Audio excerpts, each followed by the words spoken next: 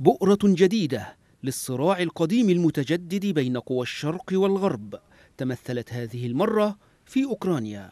تلك الدولة الأوروبية التي قدر لها أن تكون ساحة لهذه الجولة من الصراع لوقوعها على الحدود الروسية لتكون بمثابة الحد الفاصل بين روسيا وحلف شمال الأطلسي.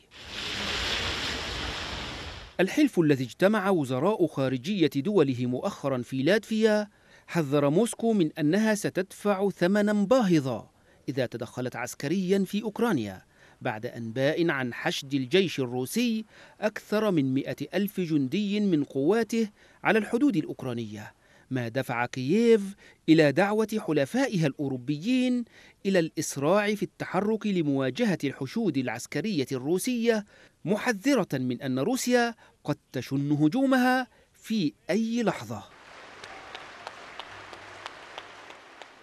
في المقابل فإن روسيا حذرت بدورها من تبعات الوجود العسكري للناتو على حدودها مشددة على أن توسيع البنية التحتية للحلف في أوكرانيا يعد خطا أحمر بالنسبة لها وأن تحركات كييف والحلف قرب الحدود الروسية تمثل تهديدا لأمن روسيا القومي وسترد عليه عند الضرورة.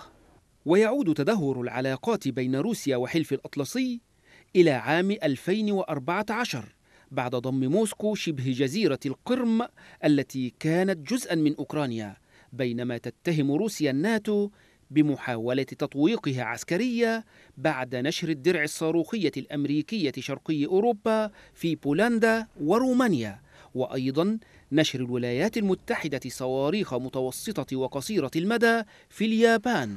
وتوسيع البنية التحتية للحلف في دول البلطيق وبلغاريا. وبحسب محللين فإن الأزمة الحالية تمثل حلقة من حلقات صراع النفوذ بين المعسكرين الشرقي ممثلا في روسيا والصين والغربي ممثلا في حلف الناتو الذي يضم دولا أوروبية إلى جانب الولايات المتحدة وكندا. كما أن أزمة المهاجرين على الحدود البيلاروسية البولندية تعد حلقة أخرى من الصراع ذاته.